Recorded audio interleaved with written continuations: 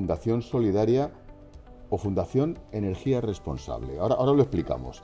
Ha recogido el premio Isabel Jiménez, presidenta de la Fundación. Fundación Energía Responsable, hasta hace nada, Fundación Luz Solidaria. ¿Por qué el cambio de nombre?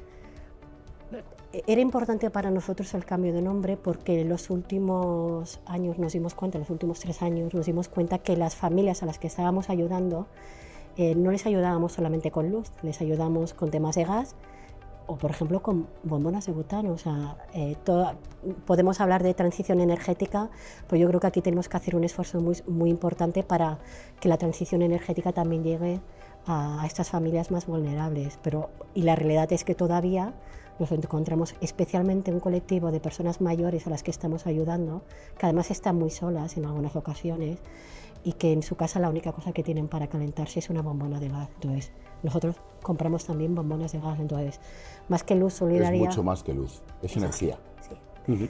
Mm, el premio, el proyecto, ¿qué vais a hacer con esos 60.000 euros? Pues mira, multiplicar lo que estábamos haciendo hasta ahora, porque nosotros trabajamos en diferentes ámbitos, ayudamos a gestionar el bono social eléctrico y térmico, que es muy complicado para muchísimas familias, hay muchísima brecha digital y especialmente en esos colectivos vulnerables o en personas mayores. Eh, ayudamos a paralizar cortes de luz, pagamos facturas de luz y gas, compramos bombonas, pero lo más importante es que estos recursos eh, los gestionamos a través de nuestra entidad y de nuestro equipo pero las familias nos las derivan las entidades sociales que hacen una labor increíble o los trabajadores sociales de los ayuntamientos. Ellos, ellos son expertos en vulnerabilidad y además conocen muy bien la, la, situación de cada familia y nosotros lo que hacemos es aportar el conocimiento del sector energético. Sois una fundación muy joven. ¿Cuánto tiempo lleváis? Arrancamos en 2021. Fíjate con el propósito, porque nos dimos cuenta con el COVID, con la crisis del COVID, que parece ser que, a la gente ya se le ha olvidado. Error. Que había muchísimas familias que pues estaban en ERES o en ERTES o sin trabajo y, no podían, estaban en casa y tenían que apagar luz y gas.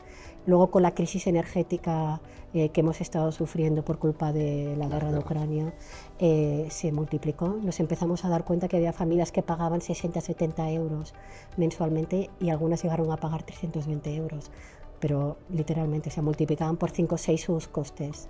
Por datos, ¿cuál ha sido la evolución en líneas generales de la pobreza energética, que tú no hablas de pobreza energética, hablas de pobreza.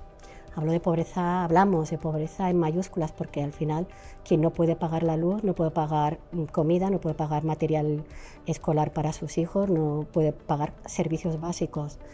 Pues desgraciadamente todavía tenemos que hacer muchísimo trabajo, porque en 2019 la tasa de pobreza energética en España era equivalente a la que había en Europa, 7,8, 7,9 recuerdo, eh, esto ha ido creciendo.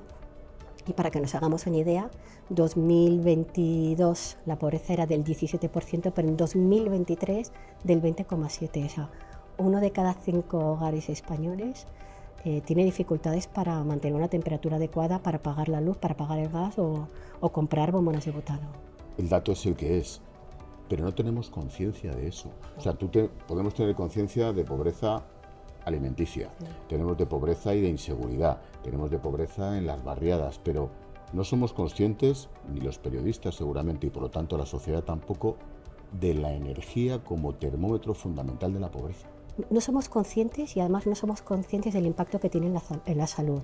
Según la Asociación de Ciencias Ambientales, en España mueren al año unas 7.100 personas por causas por, culpa de la pobreza energética. puede ser de frío o de calor. O todo lo contrario. Claro, es verdad que en Europa eh, siempre pensamos en el tema del frío, pero en España, de hecho nosotros estamos colaborando eh, con muchas asociaciones que tienen eh, personas con grandes, graves enfermedades respiratorias o que simplemente tienen que estar enchufadas porque su máquina necesitan una máquina para estar conectada o necesitan tener una temperatura adecuada.